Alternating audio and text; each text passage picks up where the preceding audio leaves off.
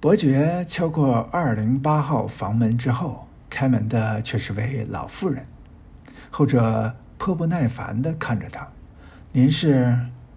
我是亚历山大·罗斯托夫，正等您呢。进来吧，沃尔班诺娃女士一会儿就出来。”伯爵本能的想先拿天气开个玩笑，可等他一进门，老妇人却走出屋去，并把门带上了，将他一个人晾在了门口。二零八号套房有着威尼斯宫殿的装饰风格，是这层楼最好的住处。尽管已搬去克里姆林宫的不知疲倦的打字员们曾在这里住过，他仍看不出。任何磨损和失修的痕迹。大客厅两侧各有一间卧室和休息室，天花板上绘制的全是寓言中的人物。他们正从天上往下俯视，靠墙放的是一张装饰华丽的桌子，上面立着两束布置精美的花，一束马蹄莲，一束长枝玫瑰。事实上，这两束花的奢侈程度不相上下，颜色却又相互冲突。从这点就能看出，他们应该是由两个相互竞争的爱慕者送的。至于第三个爱慕者送什么样的花才算拿得出手，就只能凭人们自己去想象了。我马上就出来，这是从卧室里传出的声音。不急。伯爵回应道：“他话音刚落，屋里忽然响起指甲吵在地板上的声音。原来是那两只俄国牧羊犬从休息室里走了出来。嘿，孩子们！”他边说边亲热的在他们俩耳朵后面挠着。跟伯爵打过招呼，两条狗便溜达到了那扇俯瞰剧院广场的窗户前。他们将前爪往窗台上一搭，以便看到下面来来往往的车辆。罗斯托夫伯爵，伯爵转过身，只见女演员穿着黑色的裤子，配着一件乳白色的女士衬衣。这已经是他今天穿过的第三套衣服了。他脸上挂着老熟人之间才有的微笑，一边朝他走近，一边把手递了过来。你能来，我很高兴。应该高兴的是我，沃尔班诺夫小姐。这话我不信，但您叫我安娜就好了。伯爵刚想作答，这时响起了敲门声。啊，他说来了。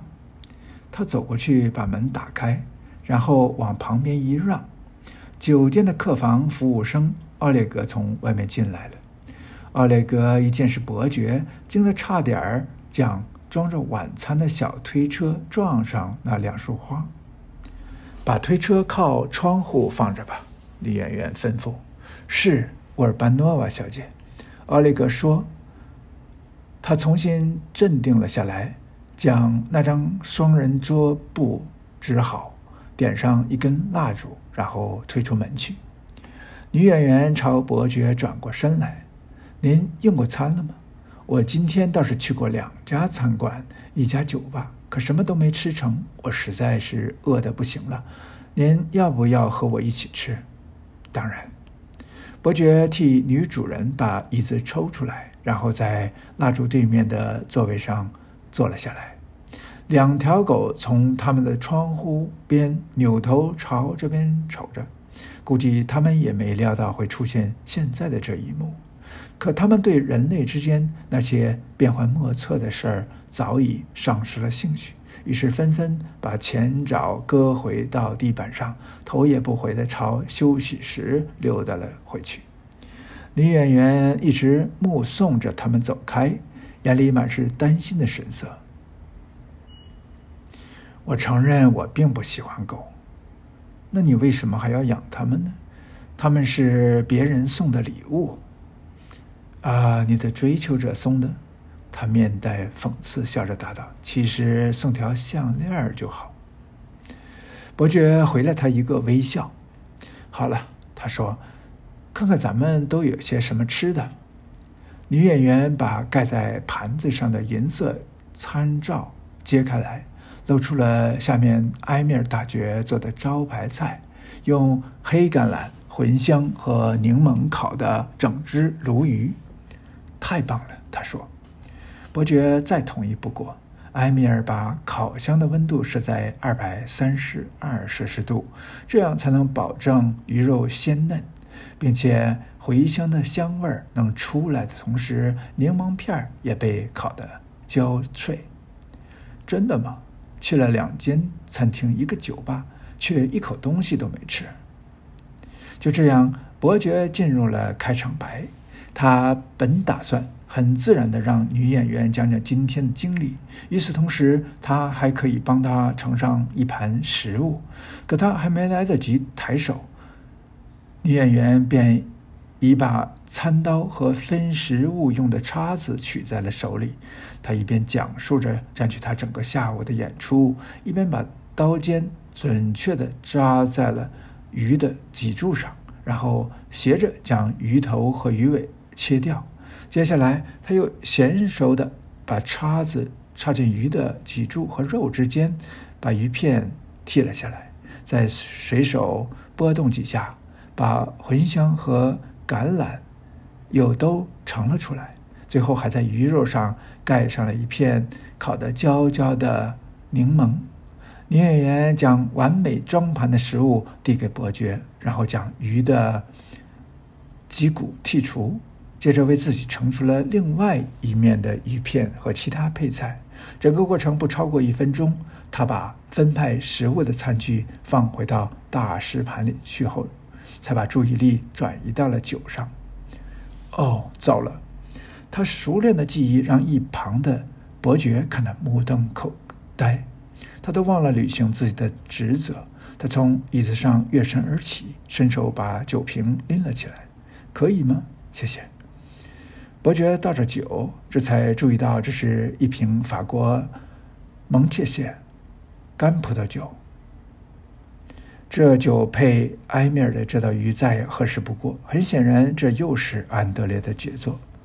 伯爵冲着女主人端起了酒杯。我不得不说，你刚才剔鱼肉的那两下真够专业的。他笑出声来：“你是在夸我吗？当然是夸你。”好吧，至少我的本意是想夸你来着。这样的话，那就谢谢了。可你也别把我想的那么神。我是在黑海边的渔村长大的，所以织渔网、剔鱼骨之类的活，我比别人干的多一些。每天晚上都有鱼吃，这样的生活也差不到哪里去。话是这么说。可如果你住的是渔夫的房子，那你吃的往往也都是卖不出去的。所以大多数时候，我们吃的都是一些蝶鱼，呃之类的，那也都是海产呢，最下等的海产。安娜·沃尔班诺夫的回忆完全被打开了。他向伯爵说起，当他还是小女孩的时候，他怎么在黄昏时瞒着母亲。偷偷溜出家门，沿着村里那条弯弯曲曲的斜坡小道来到海边，帮他父亲捕渔网。伯爵边听他说，边想着不要轻易对人下结论。这话说的还真对。毕竟，对我们这个酒店大堂里邂逅了近一分钟的人来说，第一印象能有多大用处呢？事实上，不管对什么人，第一印象能有多大作用呢？为什么呢？因为只有从音乐的旋律中，我们才能了解贝多芬；只有在绘画的技巧和笔触中，我们才能认识波提切利。人类生来就有变化无常的天性，他们是如此复杂又如此令人着迷的矛盾体。对他们，我们不仅需要去认真思考，而且得再三思考。在利用尽可能多的场合和机会同他们充分接触之前，我们断然不要对他们中的任何人抱有成见。就拿安娜·沃尔班诺夫的嗓音来说吧，早先在大堂里，这位女演员急着想管住她的两条猎狼犬，她沙哑的声音给人一种飞扬跋扈，甚至动辄大呼小叫的印象。但眼下，在二零八号套房里，在烤焦了的柠檬、法国葡萄酒和对大海的回忆的陪伴下，她的声音告诉你：原来她是位职业女性。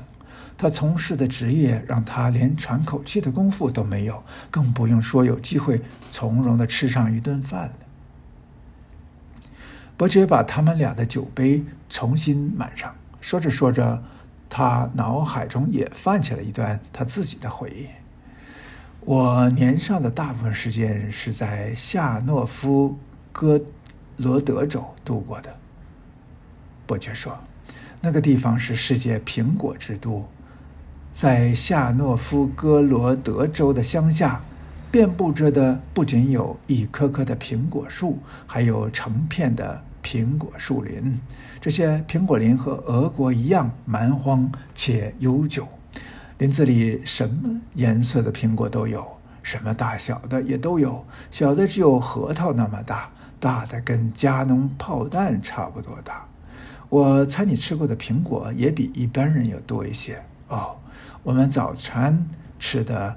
煎蛋卷里要放苹果，午餐的糖里面飘着的，晚餐的野鸡里面塞着的全都是苹果。过圣诞节，只要是林子里有的品种，我们都会吃个遍。伯爵把酒杯举了起来，他本打算提一位吃苹果也能吃得如此全面干一杯，可突然他把手指一挥，自我纠正道：“不，有种苹果我们还没吃过。”女演员困惑地挑了挑眉头：“哪一种？”根据当地的传说，这棵苹果树隐藏在森林的深处，它上面结的果子颜色和煤一样黑。如果你能找到这棵树，吃下它结的果，你就能得到新生。伯爵端起蒙切谢喝了一大口，他很得意，自己灵机一动，把这个传说给搬了出来。那你会不会呢？女演员问道。“我会不会什么？如果你发现了那棵隐藏在森林里的苹果树，你会不会咬上一口？”伯爵把酒杯搁在桌上，他摇了摇头。“能获得新生当然很有诱惑力，可我的家、我的姐妹和我在学校的那些岁月，他们留给我的回忆，我怎么忘得掉呢？”伯爵冲着桌子比划道。那么多回忆，叫我怎么能忘呢？安娜·沃尔班诺夫已经把餐巾搁在了他的盘子上。他把椅子往后一推，从桌子那边绕过来，拉住伯爵的衣领，对着他的嘴吻了下去。自伯爵在夏里亚宾酒吧读到他留下的字条起，他就觉得。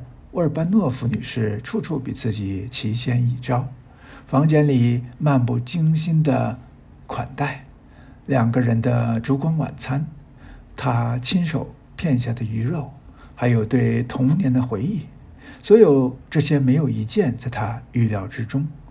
那温柔的一吻，当然也打了他一个措手不及。此刻，他正朝卧室款款走去。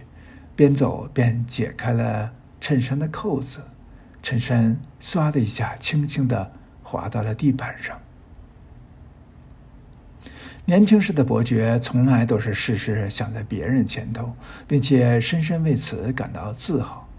守时恰到好处的谈吐，能遇见别人的需要，在伯爵看来，这些都是一个男人拥有良好教养的标志。可眼下他却发现。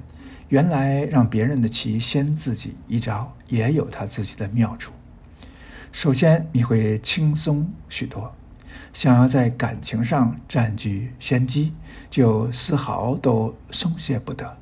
要想有所进展，你就得留神他嘴里吐出的每一个字，注意他每一个动作和表情。换句话说，想在感情上算在别人前头，太累了。可落在别人后头。受到别人的勾引呢？哎呀，大不了轻轻松松的往椅子里一坐，喝着酒，脑袋里蹦出个什么念头，就用它回应别人，不就完了吗？但矛盾的是，把主动权交给别人，自己甘愿被动，不仅会使你觉得轻松，而且也会使你更加兴奋，因为居于被动的这个人，原以为会和新认识的这位波澜不惊的度过这个夜晚，东拉西扯，无关痛痒的聊一通，然后在门边友好的道别。可晚餐吃到一半，意外蹦出来一句恭维之语。再加上某人的手指在你的手上有意无意蹭了几下，你也温柔的默许，而且不自觉的冲他一笑，然后吻就上来了。再往下，惊喜的程度和范围更是只增不减了。比如说，在女士衬衫滑落到地板上之后，你会发现那裸露的。背脊上居然有点点的雀斑，仿佛天上的点点星斗。或者，当你轻轻钻到被子底下，床单被人掀到一边，你刚仰面躺到床上，一双玉手便摁在了你的胸前，一张朱唇正凑过来，娇喘吁吁地向你发号施令。尽管这些惊喜都无一例外地激发出你神奇般的、奇迹般的状态，可与午夜一点时你所感受的那份敬畏相比，他们都算不了什么。因为午夜一点，那个女人在床上一边翻身，一边毫不含糊的声音对他说：“走的时候记得把窗帘拉上。”这么说吧。伯爵把衣服全部找回来之后，的确尽职尽责地把所有的窗帘都拉上了，而且在他光着半个身子、蹑手蹑脚地往门口走去时，他还特意把女演员那件乳白色的衬衫从地板上拾了起来，挂在了衣架上。正如伯爵自己在数小时之前所说的：“最优秀的狗应该让。”最老练的人带才对。